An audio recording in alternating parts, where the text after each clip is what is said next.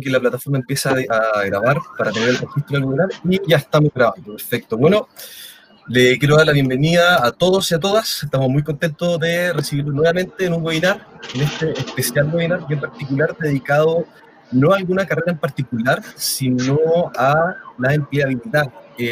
queremos compartir con ustedes tips para todos quienes están buscando algún trabajo eh, de ámbito relacionado con el TI, eh, aquí nos acompaña hoy día el docente de la academia, Ibar Quirós, de la carrera de Data Science. Él es un especialista en Big Data, actualmente trabaja en el sector financiero, tiene experiencia como arquitecto de, Big Data, eh, ingeniero Big Data, ha trabajado en soporte TI, una gran estrella del, ámbito del, del TI, del Data Science, pero hoy no está solamente para hablar del Data Science particularmente, sino para ver cuáles son buenas prácticas eh, y buenos tips al momento de cuando ustedes están buscando alguna pega que quieren y qué es lo que tienen que demostrar, cómo tienen que acercarse ustedes a los procesos de selección, a los seleccionadores mismos eh, y cómo llamarles la atención de buena manera para que los tengan bien considerados a ustedes. Eh, entonces, bueno, yo no les quiero quitar demasiado tiempo, yo quiero que Ibar se presente a sí mismo también eh, que comparta su experiencia y vamos a empezar ya rápidamente con el webinar. Recuerden que, bueno, los webinars usualmente eh, Ibar en este caso a presentar y después de la presentación se abre una sección de preguntas y respuestas, la vamos a habilitar, les debería aparecer abajito a la derecha junto al chat, en donde ustedes pueden ir anotando sus preguntas, nosotros las seleccionamos, las exponemos en pantalla e Ibar empieza a responder. Así que bueno, muchas gracias. Eh, vamos a darle inicio a este webinar. Eh, yo, me, yo voy a quedar detrás de cámara mientras Ibar sigue exponiendo y voy a empezar a pedir para el juego. Así que muchas gracias, Ibar. Le damos inicio. Gracias a ti, Tomás. Muchas gracias. ¿Qué tal, chicos? Bienvenidos a esta charla. Vamos a hablar un poco sobre empleabilidad y sobre cómo descubrir un poco cuál viene siendo el camino que andamos intentando perseguir después de haber estudiado la carrera o después de haber estudiado un curso o después de haber salido al mundo laboral y no haber encontrado de una forma fácil el, el, contexto que andamos buscando para poder desarrollarnos profesionalmente. Entonces, en ese, digamos, en ese panorama, la charla se llama Tengo talento. ¿Qué hacer para demostrarlo y destacarse? Eh, la gran problemática a la cual nos enfrentamos hoy en día después de salir de la carrera es que en general tenemos una serie de conocimientos que nos sirven para poder eh, presentarnos al mundo laboral, pero que también conllevan una serie de, de necesidades que deben ser demostrables, eh, o mejor dicho, de aptitudes que deben ser demostrables cuando, cuando se, se, se intenta solucionar o conllevar una serie de necesidades por parte de la gente de negocio o por parte de la gente que te contrata cuando sales al mundo laboral. Entonces, no sirve de mucho que yo sepa programar si, por ejemplo, eh, tengo que hacer una página web o tengo que hacer un, una capa que me permita conectar una serie de datos si no sé cuál es el propósito que hay detrás, ¿vale? O si no tengo la capacidad de poder interpretar ese propósito. Entonces, eh, esa serie de habilidades que adquirimos en la carrera tienen que matizarse, tienen que demostrarse de una forma en particular que, según mi experiencia y mi criterio, van muy de la mano también con el marketing, ¿vale? Eh, así que vamos a partir la charla ya de golpe. Un poco de quién soy yo. Eh, soy un ingeniero de informática. Básicamente llevo toda mi carrera trabajando en ingeniería de datos. he trabajado eh, en ciertos proyectos como arquitecto, he trabajado en ciertos proyectos como ingeniero de datos, he trabajado en contexto de negocio, he trabajado eh, analizando necesidades, pero, pero partí igual que cualquiera de ustedes eh, en, ese contexto. O sea, no, no llegué de la noche a la mañana ya. Llegué por una serie de eventos, por suerte, porque de alguna forma tuve la capacidad de poder descubrir el cómo tenía que exponerme, porque en general nadie me, me enseñó a hacer esto, fue algo que salió innato. Y finalmente la intención es poder compartir esa serie de, conocimientos que adquirí para poder presentarme y para poder de alguna forma darme a conocer para que ustedes pudieran hacer lo mismo y de alguna forma intentar llevar o sobrellevar su, su carrera actual y empezar a escalarla para los siguientes niveles que me imagino y lo que andan buscando. Eh, en general, soy una persona muy friki, me gustan mucho tanto los videojuegos como la tecnología. Eh, tengo una familia de cuatro personas, dos gatos, y la verdad es que en términos generales me va bastante bien, tanto profesionalmente como en la vida en general. La idea es que eh, podamos de alguna forma entre, entre todos poder llegar como a un punto de cohesión de cómo lograr una, un, un, equilibrio entre lo que a mí me gusta y lo que yo hago en el trabajo. De eso se trata un poco la charla. Eh, vamos a ver una serie de contenidos. Eh, probablemente el más importante, que es el que les acabo recién de comentar, es el principal, que yo le llamo el GAP, ¿vale? Luego de eso ya vamos a revisar a qué nos referimos con el camino y los participantes del camino, porque al final el camino no se recorre solo, lo tenemos que recorrer y nos vamos a encontrar con más gente recorriendo el mismo camino. Luego de eso, eh, el camino evidentemente hay que recorrerlo con una serie de plataformas en el caso de del siglo XXI buscando empleo en una serie de plataformas. Y el cómo darse a conocer en esas plataformas y el cómo representar o, mostrar el valor que tenemos como personas y profesionalmente hablando también es súper importante en este, en este camino. Entonces, vamos a ver un poco los elementos de broadcasting y el portafolio que suele tener la gente que trabaja en, esta área para finalmente eh, tratar el último tema, que es cómo, cómo seguimos en, el, en, la, en la cúspide de la ola, ¿no? Sobre el gap. ¿Qué es el gap? Eh, les voy a contar una pequeña historia. Cuando yo salí de la carrera, eh, la verdad es que a mí me gustaba mucho el, el, diseño de páginas web. Me gustaban mucho las aplicaciones web. Siento que es una de las cosas que, que más me ha llamado la atención durante los últimos 10 años por lo menos.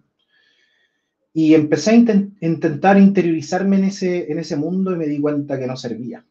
La verdad, me di cuenta de que no tenía dedos para el piano en eso. Terminé la carrera, saqué una carrera de ingeniería y dijo, bueno, ahora me voy a poner a desarrollar aplicaciones web. Me fue fatal.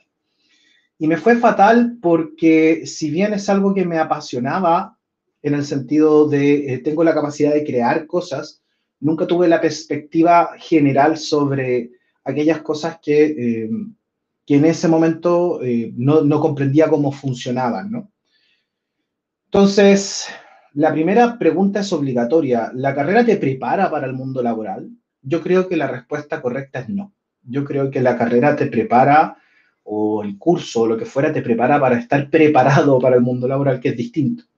El estar preparado para, el mundo laboral es estar preparado para adaptarte al cambio, para intentar mejorar continuamente, para descubrir una serie de cosas que probablemente no conoces y te pueden gustar, estar abierto a eso, no cerrarte frente a tus compañeros, que no suele pasar mucho, un compañero opina una cosa, yo opino una cosa distinta, y, es muy difícil quizá que yo pueda encontrarle la razón, a no ser que tenga eh, él una serie de elementos dentro de su argumento que me permitan a mí verlo. Muchas veces no vemos el argumento ajeno simplemente porque no estamos mentalmente adaptados para ello.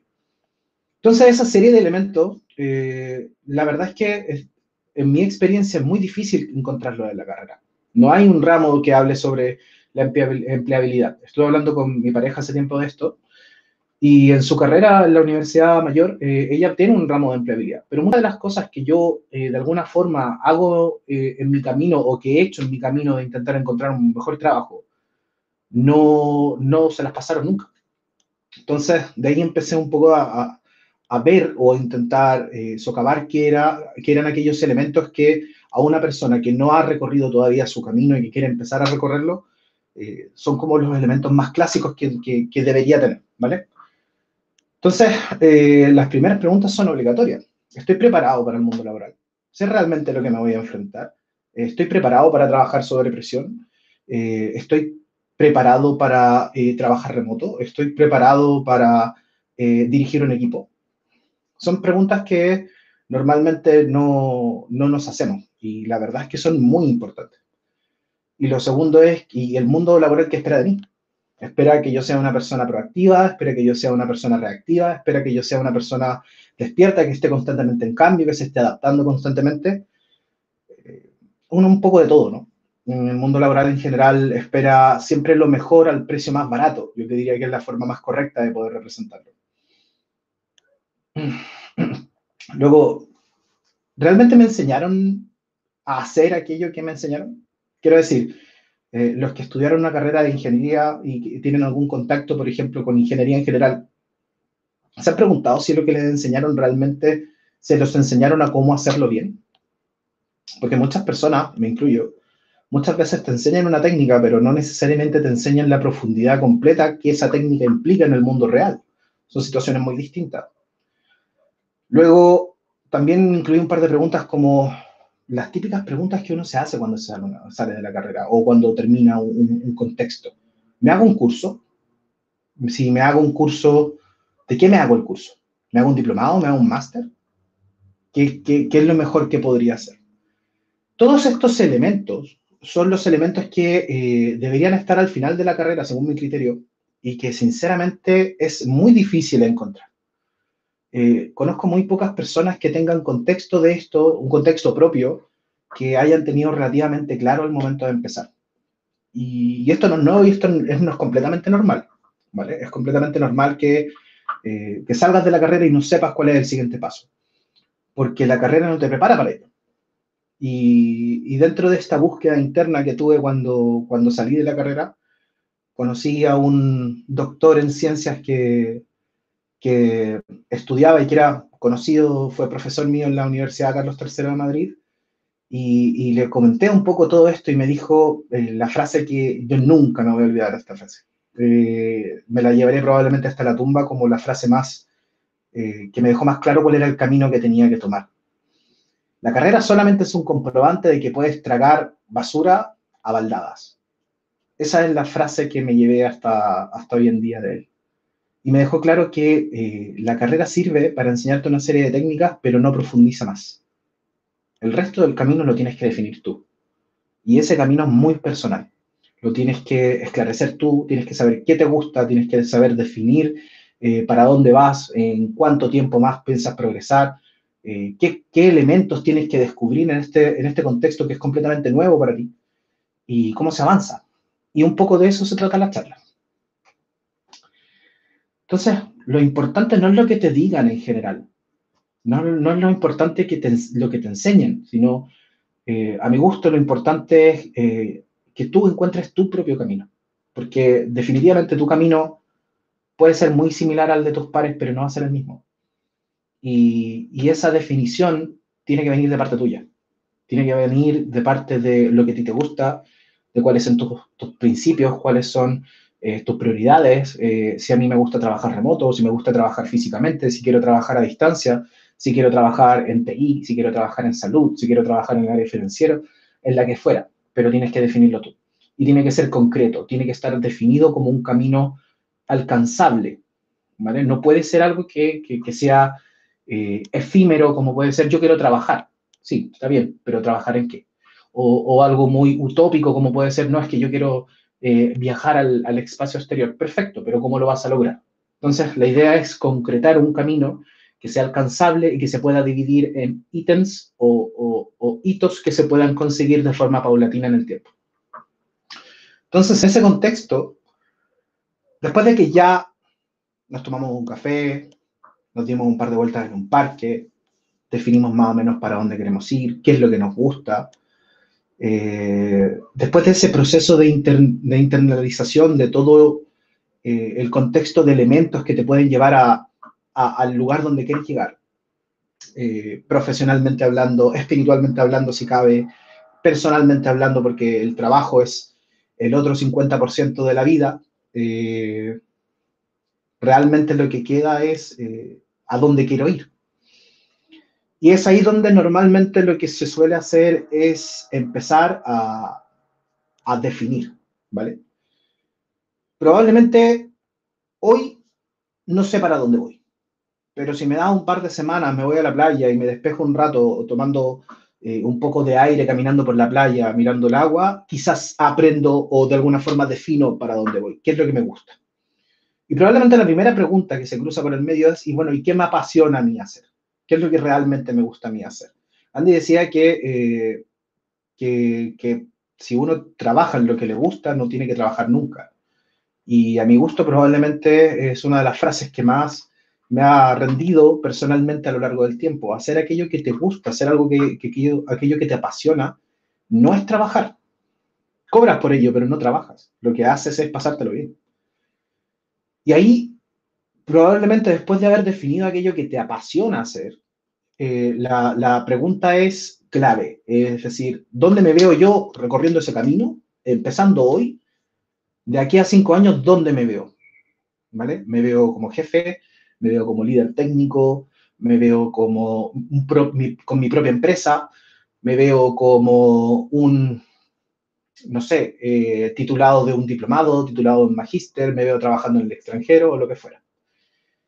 Cuando está claro ese camino, es decir, empiezo acá, termino acá, es cuando normalmente uno empieza a segmentar los, los subelementos que están entre medio.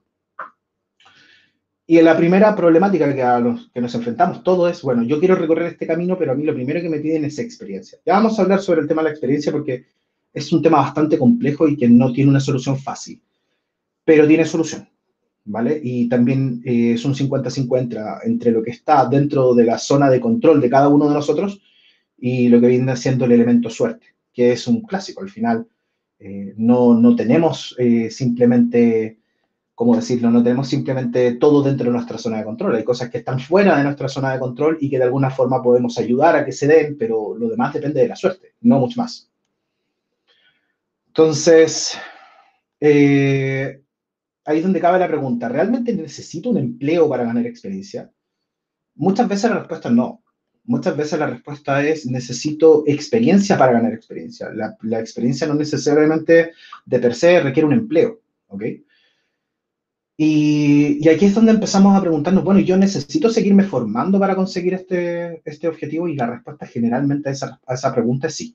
Cuando uno sale de la carrera, sale con un, con un concepto generalista que nos permite comprender una serie de elementos que, que, cuando empezamos no estaban a nuestro alcance, pero, pero llegar al objetivo que queremos también requiere que uno comprenda una serie de elementos que no conoce y en ese camino, evidentemente, hay que trabajar, hay que estudiar, hay que interiorizarse y hay que especializarse en una parte del área, ¿vale?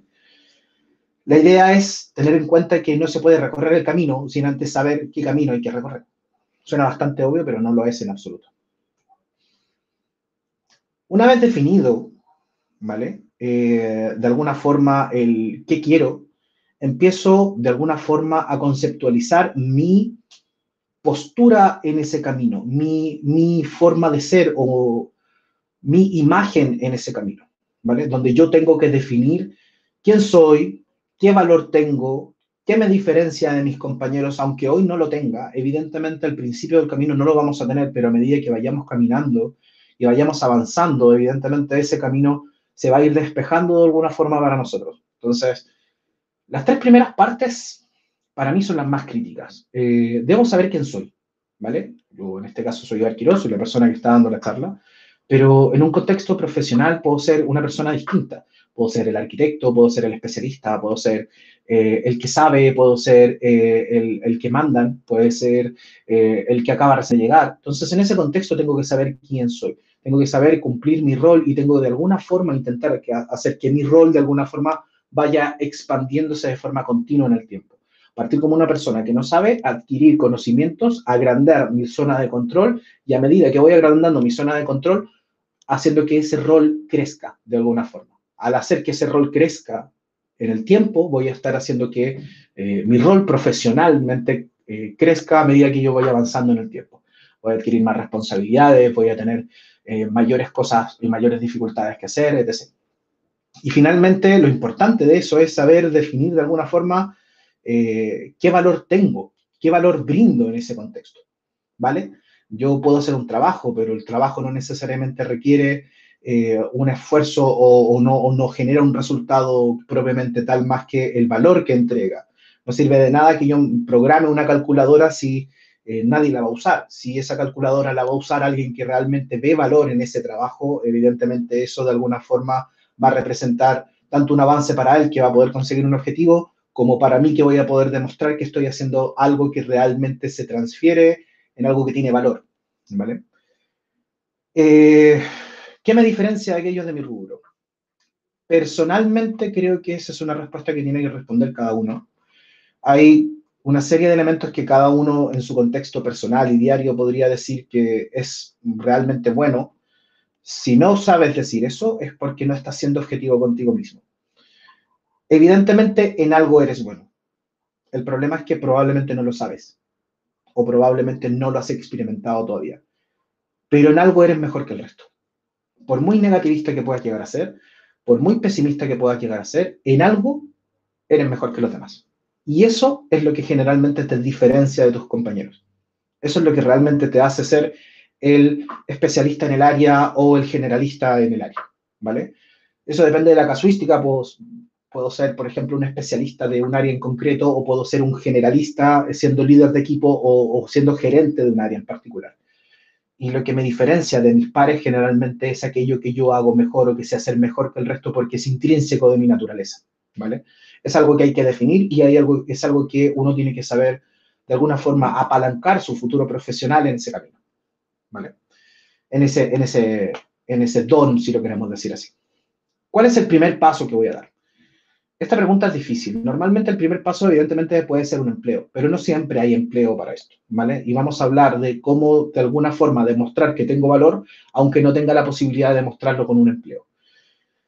Porque al final eso es crítico la persona que se queda y que no tiene empleo y que no avanza porque no me han dado empleo, al final eh, nunca avanza en su camino profesional hasta que realmente se le abre una oportunidad. Hay formas de intentar hacer que esa oportunidad se abra y hay, hay directamente suerte o cambiarse de mercado en el caso en que directamente no haya ninguna alternativa, ¿vale? El primer paso, la experiencia. Esa para mí es la, la parte más difícil de todo esto, la experiencia ¿Qué hacemos con la experiencia? ¿Cómo la consigo? Yo necesito experiencia para poder trabajar, pero necesito trabajo para ganar experiencia. ¿Cómo lo hago? Eh, hay herramientas, ¿vale? Vamos a hablar al final de la charla sobre eso, pero definitivamente el primer paso no necesariamente eh, habla de tener experiencia o que me contraten para poder demostrar lo que puedo hacer, ¿vale? Pero, pero sí es verdad que hay que definir el primer paso antes de empezar.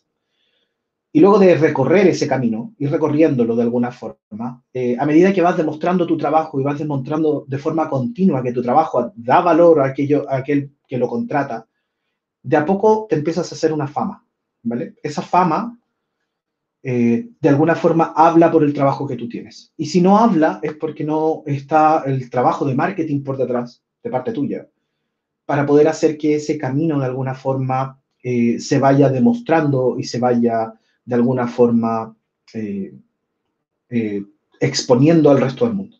Si yo me camino todo el desierto del Sahara, por ponerte un ejemplo, y llego al final, llego, no sé, a Egipto, y le digo, yo he caminado todo el desierto del Sahara, ¿quién puede realmente comprobar que yo lo hice?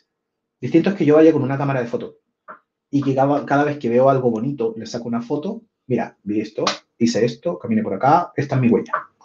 A medida que uno va dejando esa huella en el camino, la gente va palpando de alguna forma eh, lo, que, lo, que, lo que realmente el camino suele hablar de ti. Y eso, para mi gusto, es lo más bonito que tiene esto.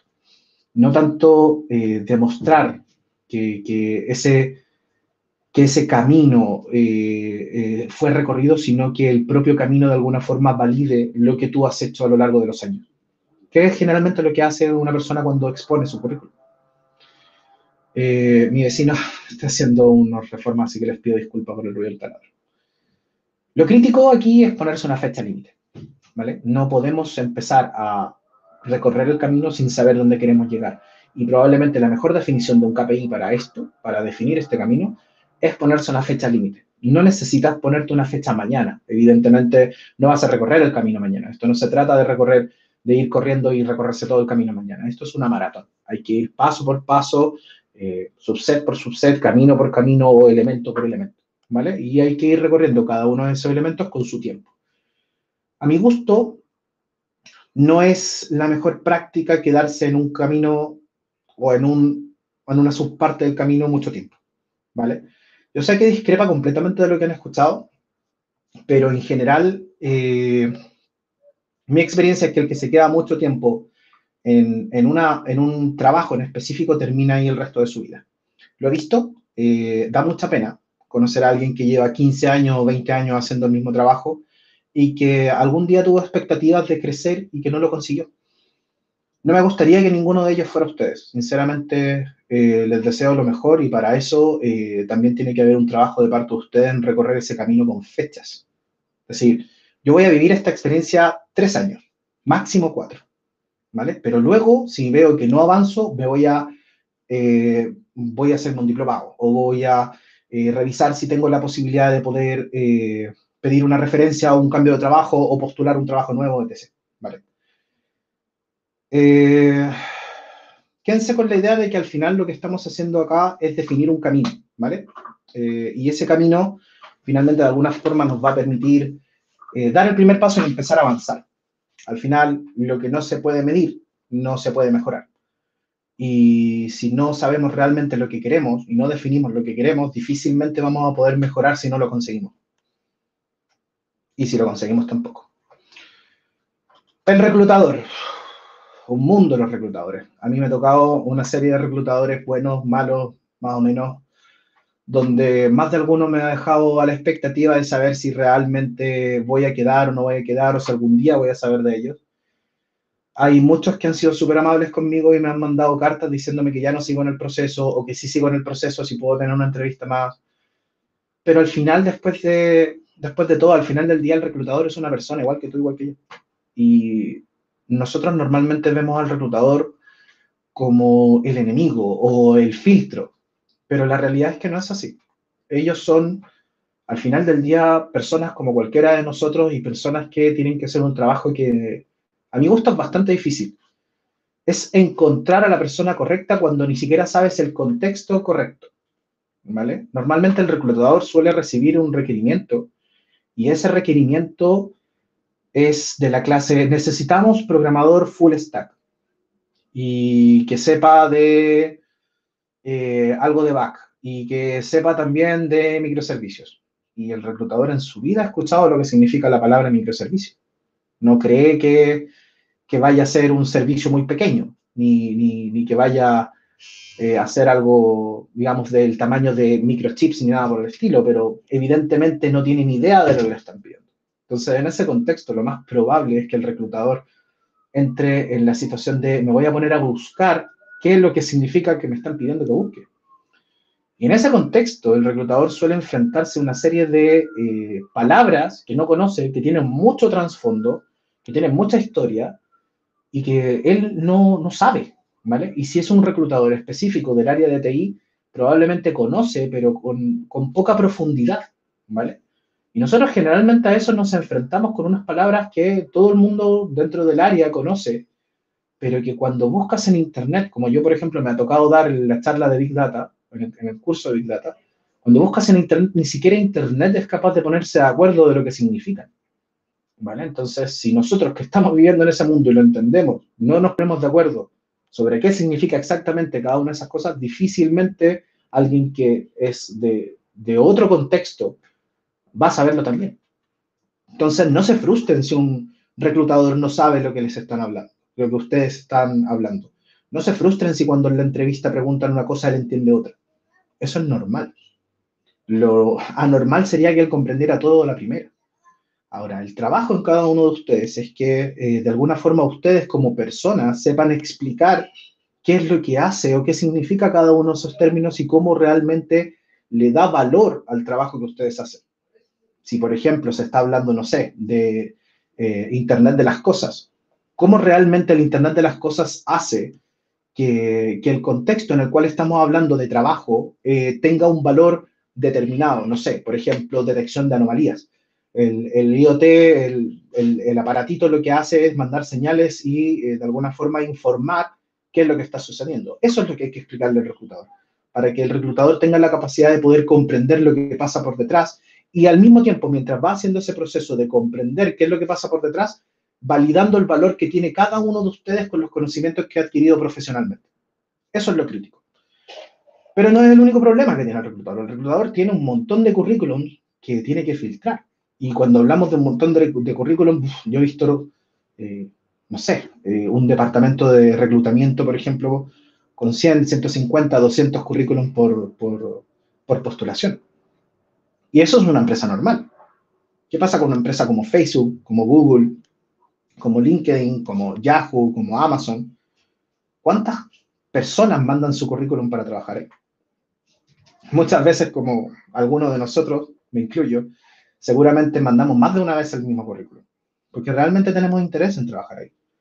Pero eso es una sobrecarga para esta persona. Y esta persona de alguna forma tiene que tener la capacidad de poder manejar todos esos currículums y filtrar aquellos que realmente él pueda percibir que tienen valor. El trabajo nuestro en ese ítem es estar por encima de la media. Se acabó. Mientras nosotros estemos por encima de la media, lo demás es suerte. ¿Y cómo estamos por encima de la media? Primero hay que tomar en cuenta que la media cambia. La media evoluciona constantemente. Y si yo miro un currículum y no veo valor, probablemente estoy por debajo de la media. Y si miro un currículum y veo trabajo, veo profesionalismo, veo experiencia, y si no tiene experiencia, veo conocimiento. Si no veo conocimiento, de alguna, de alguna forma veo interés. Eh, y demuestro eh, perseverancia y una serie de valores de, de, skills, eh, de soft skills, como se suele conocer, que, le permitan al reclutador decir, este currículum vale la pena, probablemente quede reclutado por encima de la media. Aunque luego en el proceso no siga, no importa, pero de alguna forma, estando siempre por encima de la media, en algún momento voy a poder conseguir encajar dentro del trabajo que ando buscando. Y otro de los problemas que tiene la, la, gente de reclutamiento cuando se enfrenta al mundo TI es que no hay una plataforma para conseguir trabajo. Hay muchas plataformas para conseguir trabajo. Eso es un problema. Eh, muchas veces la gente no tiene eh, la disposición temporal para poder hacer eh, una revisión por cada una de las plataformas. Entonces, a mi gusto, profesionalmente hablando, yo les aconsejaría a ustedes por lo menos que estén en tres. Evidentemente, la más usada en nuestro contexto, en el contexto de DI, es LinkedIn, pero junto con Get On Board o alguna otra más, probablemente van a tener la capacidad de poder divulgar lo suficientemente bien su currículum de tal forma que la empresa que les está buscando tenga la capacidad de poder encontrarles. Ahora es donde viene el otro problema, porque claro, eh, el reclutador no es solamente el problema. Eh, viendo alguna película, seguramente alguna película interesante, como, no sé, Creed, de, de Stallone, seguramente vieron que en alguna de la parte de la historia le decía al chico que el tipo con el que se enfrenta, el tipo que está en el espejo, es su peor enemigo. Y es justamente contra él contra él tiene que combatir. Eh, más de alguna película habla de esto y la verdad es que intentar superarse profesionalmente cada uno de nosotros es lo que realmente cuesta. Porque conseguir una persona que te dé trabajo no es tan difícil como levantarte todos los días, enfrentarte a tu forma de ser todos los días, intentar mejorar continuamente todos los días y poder enfrentarte a, tu procrastinación de forma continua, dos, tres, eh, cuatro horas de forma diaria, de alguna forma intentar avanzar, de alguna forma intentar mejorar. Y para el reclutador, que este es como el truco, para el reclutador es muy fácil. El reclutador de alguna forma ve una persona y esa persona es un producto, aunque nosotros pensemos que no, la realidad es que es así. Nosotros para el reclutador somos un producto y podemos ser dos clases de productos. Somos el producto que se vende, bien y tiene un contenido que vale la pena, o podemos ser el producto que tiene una pinta espectacular pero cuando llega el momento de la realidad es 80% aire. Y eso es una decisión completamente personal. Eso está en la zona de control de cada uno de nosotros. Porque una cosa es tener experiencia otra cosa muy distinta es que aunque no tengas, tengas toda la actitud, toda la perseverancia y, toda la proactividad que puede llegar a tener una persona en el siglo XXI. Si no tienes eso, es muy difícil que puedas mantener un trabajo por mucho que lo, por mucho que lo adquieras, o poder crecer profesionalmente. Y eso depende de cada uno.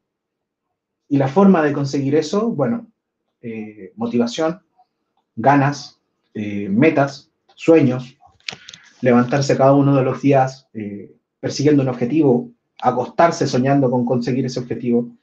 Y de alguna forma eso se traduce al final en el producto, porque efectivamente la mejora continua, el continuar mejorando continuamente, sirve, pero no sirve de mucho eh, estudiar por estudiar si realmente tú no eres proactivo en tu entorno laboral o, ser el mejor y tener un doctorado si realmente no te puedes llevar con tus compañeros. Y, eso es algo que en mi, en mi, caso, por ejemplo, yo he vivido personalmente.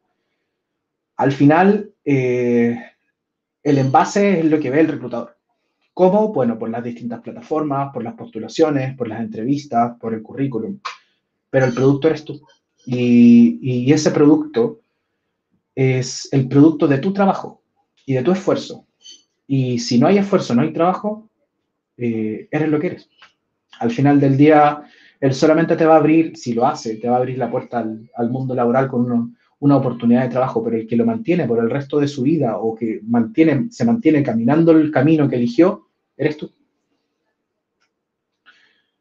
Ahora, plataformas de empleo. Eh, primero, a ver. No veo ninguna pregunta, así que avanzamos. Las plataformas de empleo, eh, hay muchas, pero sinceramente no todas son para lo mismo. Eh, he estado revisando últimamente las plataformas de empleo y los empleos que se presentan en las distintas plataformas. No voy a hablar de nombres, pero eh, con excepción de LinkedIn y, y Get Board, me ha tocado alguna que otra plataforma que dice, se busca ingeniero TI para trabajo de no sé qué. ¿Para qué empresa? No se dice. ¿Por qué sueldo? Evidentemente un tema idiosincrático de Chile, no se puede hacer nada, no se dice. Pero, sinceramente, de la audiencia, ¿hay alguno de ustedes que trabajaría de forma ciega en una empresa que no conoce? Porque yo creo que ninguna empresa, de alguna forma, tomaría la decisión de eh, contratarlos si no los conoce. O sea, yo no conozco ninguna empresa que vaya por ahí, por la calle, seleccionando, yo quiero a esa persona. ¿por qué ustedes ciegamente elegirían una empresa como esa? Una empresa que eh, no es capaz de poder decirle, hola, somos nosotros, ¿quieres venir a trabajar con nosotros? Esa mentalidad es una mentalidad común de, del siglo XX, a mi gusto. Para los que estamos quizá un poco pasados en los 30, eh, todos hemos vivido eso en nuestra juventud, encontrando, intentando encontrar un trabajo, postular a trabajos que uno no sabe en qué empresa va a trabajar. Eso ya no existe por lo menos en el sector TI ya no existe. Lo que existe son empresas que de alguna forma tienen que cambiar su forma de presentarse al mundo laboral porque, sinceramente, y lo dice las estadísticas, eh, los ingenieros, los, especialistas y los que realmente tienen camino en esto, no postulan a esas postulaciones. No entran a esas postulaciones porque no les da valor. ¿A mí de qué me sirve postular una empresa que no es capaz de poder demostrar que yo valgo la pena para poder trabajar. ¿Vale? Yo, ponte en el caso en que yo entrara en esa postulación y yo quedara, ¿cómo lo hago para poder decir, oye, ¿sabes qué? Yo estoy trabajando en esta empresa. Si ni siquiera la empresa quiere decir que está buscando gente como yo. ¿Vale? Suena extraño, pero es que lo más extraño es que hayan todavía postulaciones como esa. Las grandes empresas eh, reciben currículum y, dicen lo que son porque valen lo que son. Y por eso la gente quiere trabajar ahí llámese Google, llámese Amazon, llámese la empresa que fuera, Microsoft, la que fuera. Las empresas hoy no ocultan su identidad para, para hacer que las personas de alguna forma sepan lo que se paga o no sé, porque realmente no sé, no sé justificar esa actitud. Entonces nosotros de alguna forma eh, tenemos que estar preparados para eso. Entonces la respuesta y la pregunta es obligatoria. ¿Todas las plataformas de búsqueda de empleo son iguales? No. La respuesta definitivamente es no. Hay plataformas que son eh, para otras casuísticas que no son TI, eh, no sé, ingeniería comercial, por ejemplo, lo que fuera, que persiguen un perfil específico que no es muy similar a lo que buscamos nosotros. Yo cuando busco empleo quiero saber en qué empresa voy a trabajar, quiero saber cuál es la descripción de cargo, quiero saber lo que necesitan de mí, quiero saber cómo eso puede aportar a mi camino. Yo no ando buscando un empleo por buscar un empleo, quiero saber cómo ese empleo va a aportar valor en mí, para de alguna forma conseguir el siguiente nivel. Entonces, no todas las plataformas son para TI. ¿Vale? Eh, todas las plataformas tienen postulaciones de TI, pero, pero sinceramente no todas son de la, no, no, todas funcionan de la misma forma. Evidentemente no todas son igual de amigables. Cuando yo postulo en alguna de ellas me piden que rellene 20.000 formularios y después ni siquiera me mandan un correo para decirme que no quedé. Entonces, eh, siendo muy ajustado el mundo TI, eh, la verdad es que hay ciertas plataformas que son más ajustadas a nuestra realidad. Y, de alguna forma son las plataformas que suelen destacar más el talento del área TI. Eh, LinkedIn es una de ellas. Eh, es bastante buena, pero no es la única, ¿vale? Eh, en el caso, por ejemplo, de Get On Board, yo he conocido bastante gente que ha encontrado trabajo por Get On Board. Y el trabajo es bastante más transparente, te dicen cuál es el salario que están intentando buscar desde el principio, te sale el nombre de la empresa, te sale la reseña, te sale a qué se dedican, y de alguna forma tú tienes la, la, capacidad de poder retroalimentar tu carrera con las postulaciones sabiendo que estás postulando a la empresa correcta y al cargo correcto que te va a llevar al nivel que andas persiguiendo en tu camino.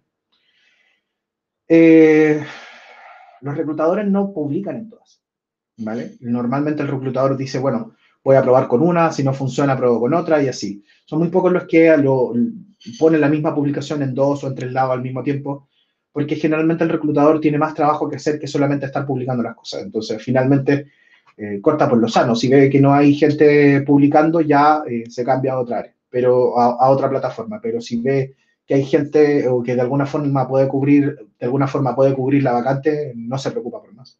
Somos nosotros los que tenemos que estar buscando dónde están los trabajos para poder de alguna forma ir a cazarlos antes que el resto. Esto es, eh, como se dice en España, es una pelea de perros. Aquí el, primero que gana es el que ganó. Y, es así de fácil, ¿vale?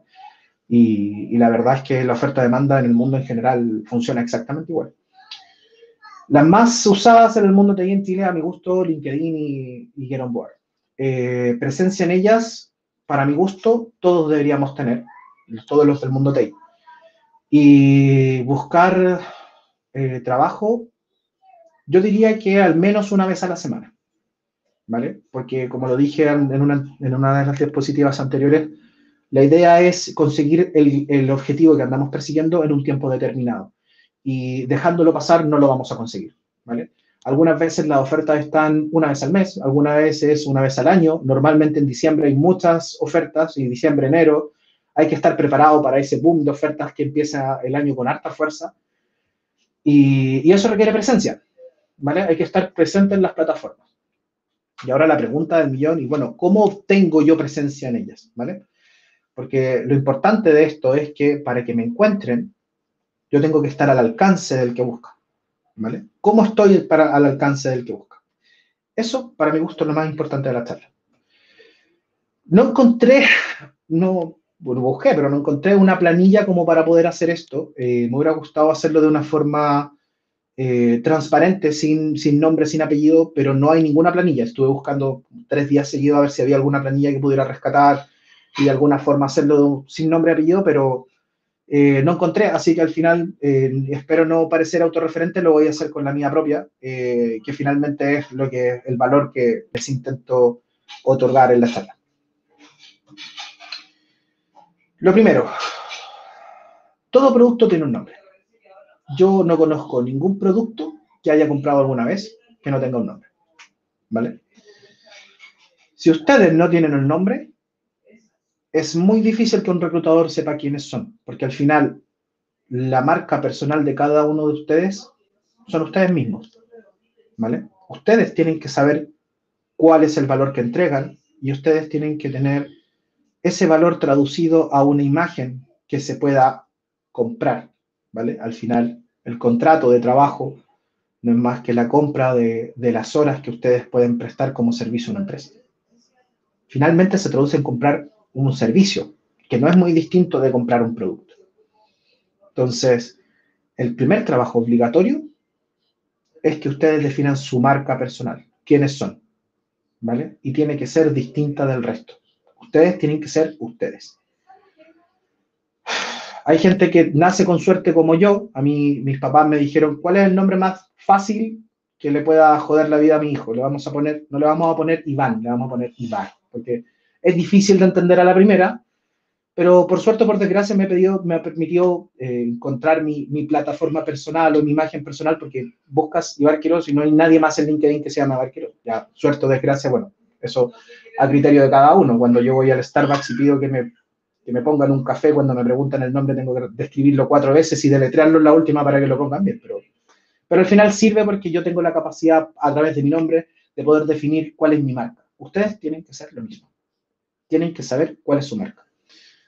Un nombre que sea único, que los represente y que sea ustedes. Si tienen un nombre común, abrévenlo de alguna forma, pero que sean ustedes, de tal forma que la persona que pueda ver esto tenga la capacidad de con un simple enlace saber quiénes son ustedes.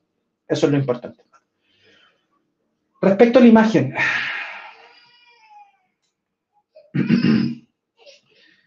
Esto es simple pero complejo. La imagen es un conjunto de elementos que describen quién soy, ¿vale?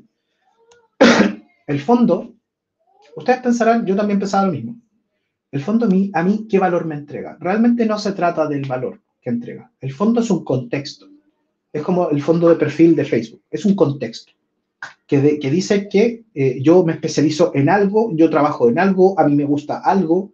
Es un contexto sobre ti, sobre tu trabajo profesional, sobre tus gustos personales. Hay gente que pone eh, una foto de ellos trotando en la playa. No se trata de Instagram, ¿eh? no es lo mismo. Estamos hablando de un contexto profesional donde lo que yo intento demostrar con el fondo es aquello que, que me entrega un valor contextual a nivel profesional.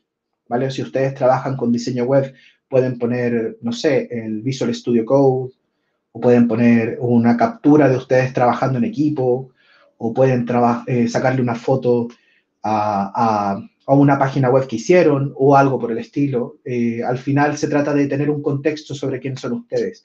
Busquen simplicidad, no busquen algo complejo, busquen algo que sea simple, que transmita un mensaje, punto. No más que eso. La foto.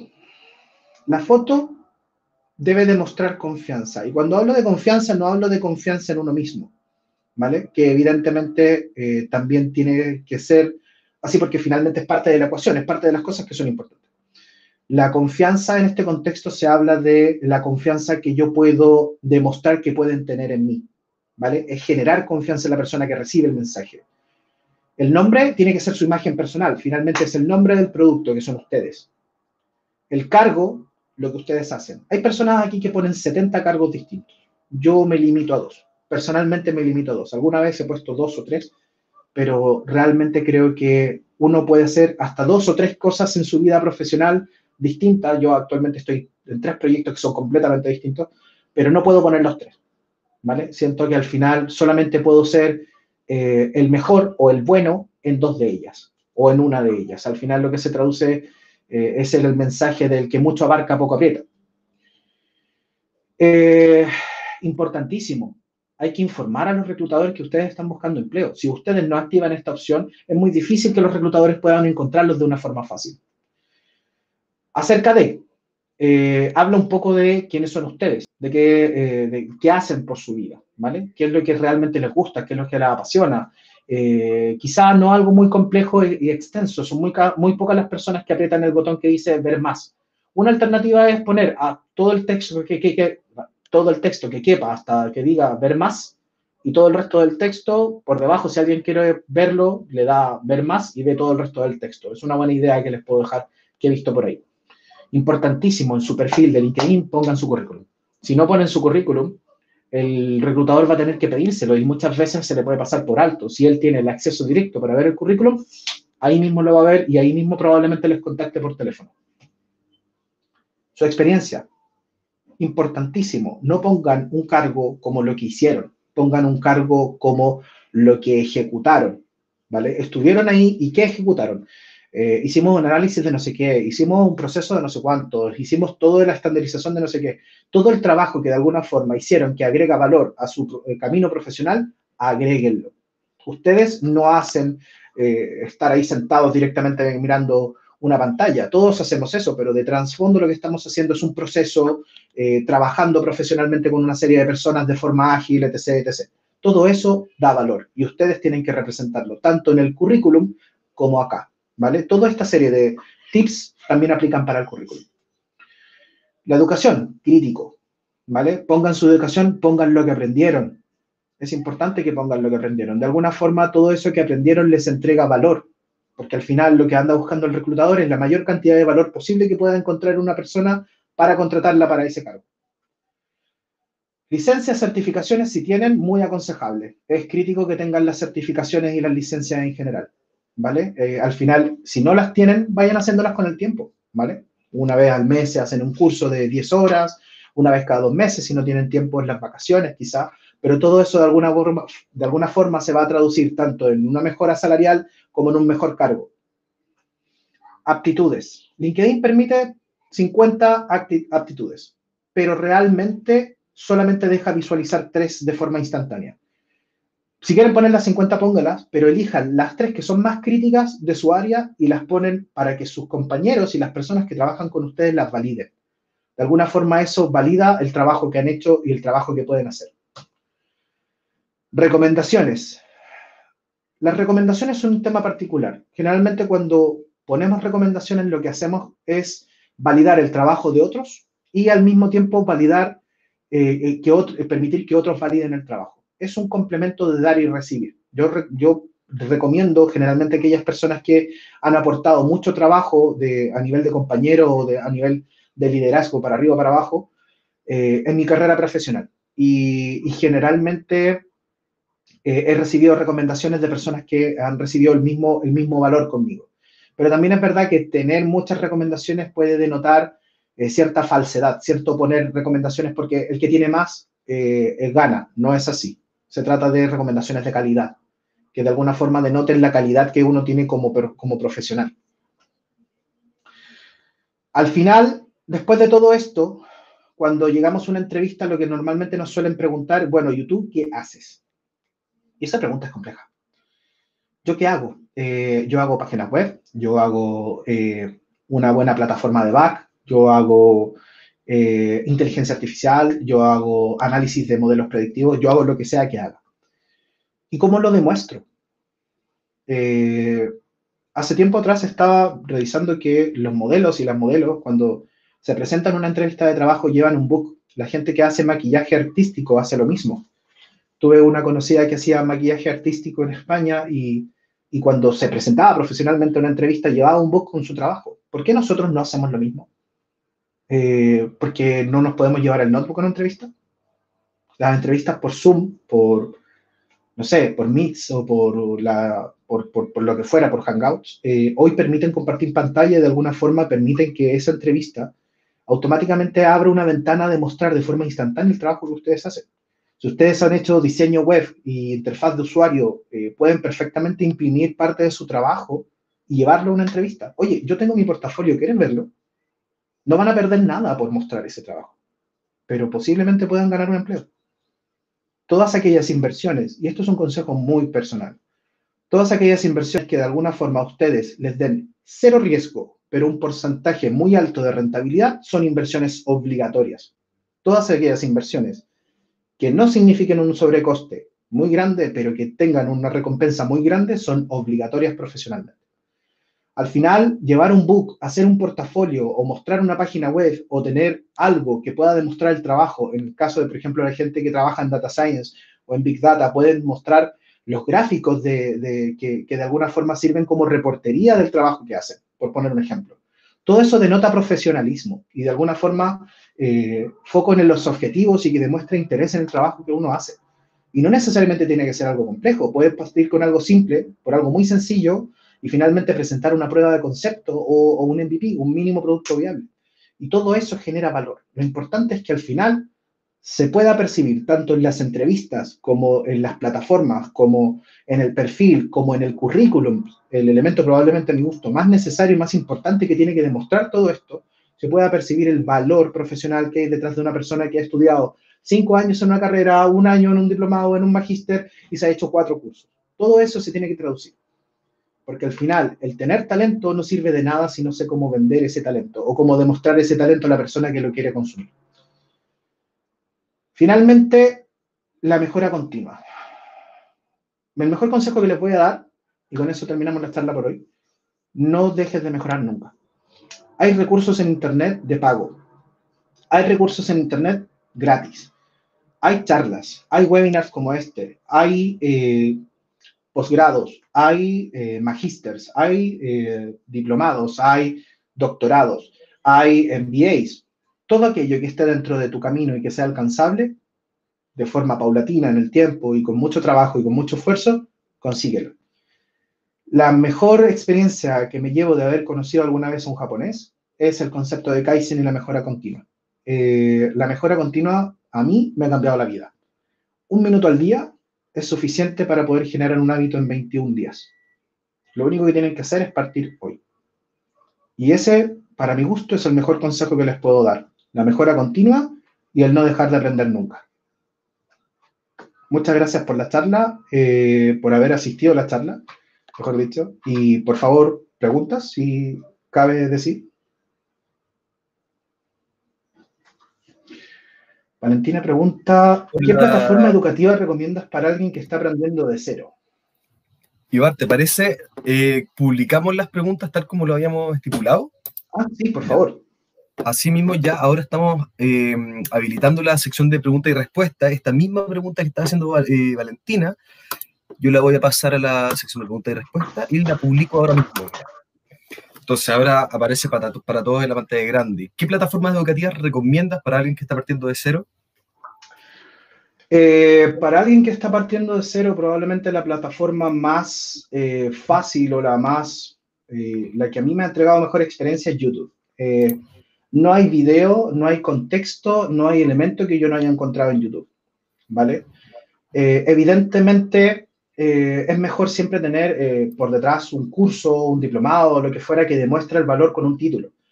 Pero muchas veces el saber hacer algo y el saber hacerlo bien es más importante que tener un certificado que demuestre que lo puedes hacer. Bien. Roberto también pregunta, para una entrevista, ¿tiene valor los autoencargos para mostrar experiencia?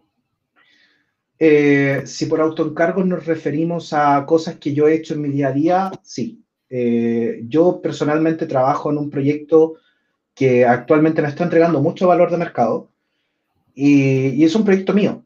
Es un trabajo que he hecho yo y que no me ha pedido nadie que haga, lo he hecho yo desde cero porque tengo interés propio y cuando lo he mostrado en entrevistas ha hecho literalmente la diferencia de 0 a 100 entre la entrevista exitosa y la que no lo era. Yo lo aconsejo mil por ciento.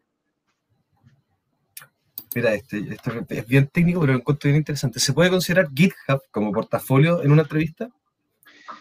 Sí, pero no. Eh, efectivamente, a mi gusto, GitHub sería una buena solución de portafolio. Lo que ocurre es que al final eh, GitHub no muestra valor. Ese es el problema que tiene GitHub. GitHub muestra que tú comitiaste código, que tú enviaste código a una plataforma que lo puede guardar. Si tú en GitHub, aparte del código o aparte del proyecto, muestras el valor que entrega el proyecto, el, por valor llámese, por ejemplo, lo que realmente le aporta a la persona que lo compra o lo que realmente le aporta a la persona que lo usa, llámese gráfico, toma de decisiones, una página web, etc., creo que sí sería una buena alternativa porque al final lo puedes comentar en cinco minutos y se autoexplica. No necesitas que alguien interprete el código. Bien. Yo quiero invitar a los asistentes a ver si tienen más preguntas, porque aquí tenemos toda la disposición de, ayudarlos y de orientarlos, sobre todo después de la, de la charla de Ibar, que yo creo que denota mucho que son dos cosas de lo, que yo recalco de, de, tu charla, es que uno es, independiente de los conocimientos técnicos que uno haya adquirido eh, en, un par de años de experiencia o en la formación académica, uno saber escribirse un cuento y segundo, creérselo. Sí. Mira, aquí José Rodríguez pregunta, un portafolio para ingeniero de datos, entre comillas. ¿Qué elementos debería tener? Mira, los ingenieros de datos por suerte o por desgracia, trabajamos con datos. Eh, que suena bastante obvio, pero la realidad es que cuando alguien dice un ingeniero de datos, ¿qué es? ¿Alguien que eh, ajusta tuercas de datos? No, la realidad es que el ingeniero de datos eh, hoy, en el siglo XXI, trabaja, para mi gusto, con el valor más importante que puede tener una empresa, el dato. El dato es una representación de la realidad, una, una representación, una medida, una medida, una métrica de la realidad. Cuando yo adquiero datos de mi negocio, al final lo que, lo que estoy adquiriendo es todo, todos aquellos conjuntos de datos que me permiten obtener información para tomar decisiones. Entonces, en ese contexto, José, mi recomendación es que te abstraigas un poco de la maquinaria del dato y lleves el concepto del portafolio al nivel más alto que puedas llegar, ¿vale? Ya sea el que sea que puedas llegar más alto. Para mi gusto, un gráfico, un dashboard, un, un ejemplo de alguna digamos, eh, herramienta que permita tomar eh, los datos como métricas y permita tomar decisiones sería la mejor forma de presentar tu portafolio a nivel de ingeniería de datos. Porque saber parsear datos o saber almacenarlos en un data lake o en un data warehouse no agrega tanto valor como el qué decisiones puedes tomar con esos datos. Bien. Ahí vi que Jorge, ah, está escribiendo. Bueno, Jorge agradece la charla. Em, yo quiero preguntar de nuevo si alguien más quiere preguntar. Les cuento, todavía contamos con un poquito más de tiempo para resolver dudas, así que no, se pongan tímidos, aprovechen de, resolver todas sus dudas. Mira, aquí Jorge pregunta, lo a pasar a la, a la pantalla. Si actualmente me desempeño como jefe control de gestión con casi tres años de experiencia en el área, diplomado en el área, y ahora aspiro a ser data scientist, ¿me sirve colocar mi experiencia? Eh, bueno, sé que Jorge es un alumno de la academia. Mi respuesta, Jorge, es sí. Lo que ocurre es que evidentemente en tu desempeño en control de gestión no has tenido una experiencia extensa, por ejemplo, diseñando modelos, o mejor dicho, entrenando modelos o, entrenando algoritmos para poder generar modelos. ¿vale? Eh, es todo el trabajo que hace un data scientist, que es lo que hemos venido viendo en el bootcamp, eh, generalmente recae en tener la capacidad de poder eh, entrenar un modelo predictivo de, clasificación o lo que fuera, que tenga la capacidad de poder permitir a un negocio eh, tomar decisiones. Pero eso no se hace solo. Quiero decir, más allá del conocimiento de data science que, pueda, que puedas tener o adquirir en la carrera, se requiere intrínsecamente un conocimiento de negocio. ¿A qué voy con todo esto?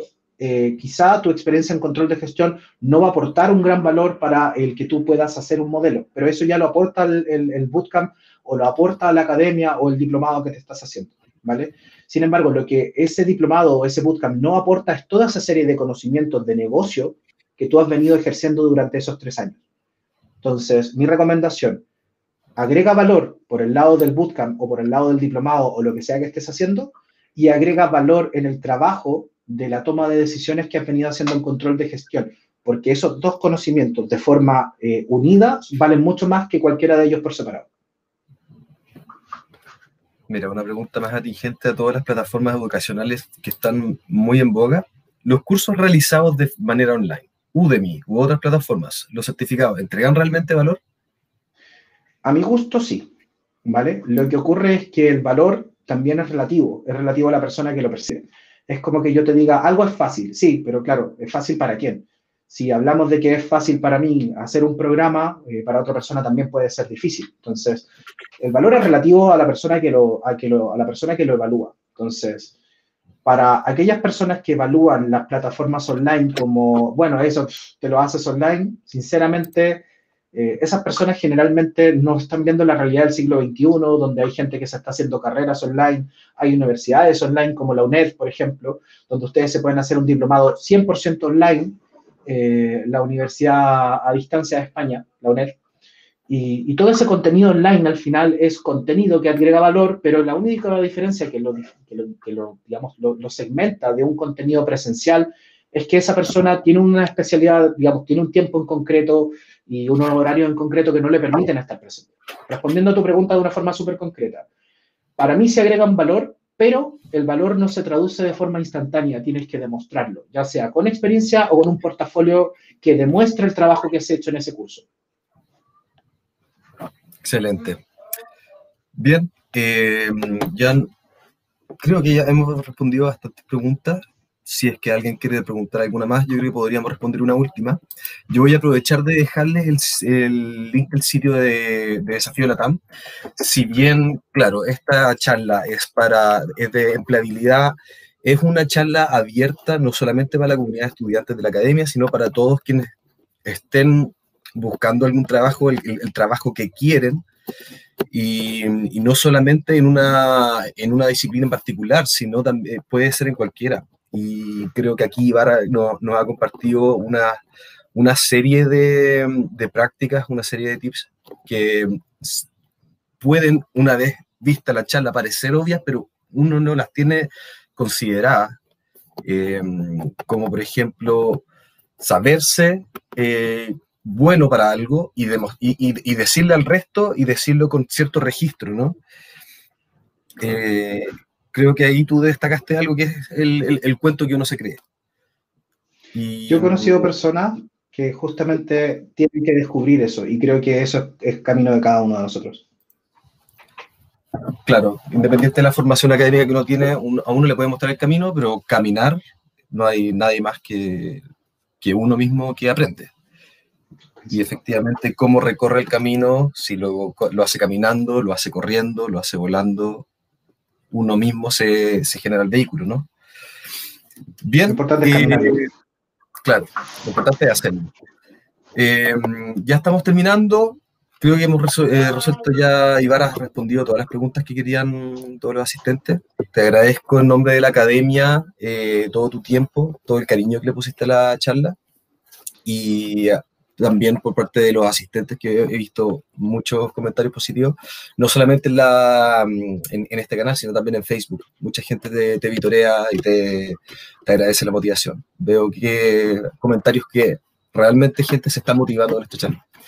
Así que eso, eh, ya le damos fin a este webinar eh, particular, dedicado no a una carrera, no a un tema de alguna carrera en específico, sino que es para todos, que es para todos quienes estén buscando un trabajo nuevo, que estén desde un trabajo buscando otro, o quizás buscando porque no tienen.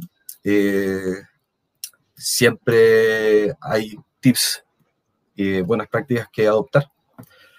Así que eso, Ibar, muchas gracias nuevamente. Y gracias a ustedes. También a todos por asistir.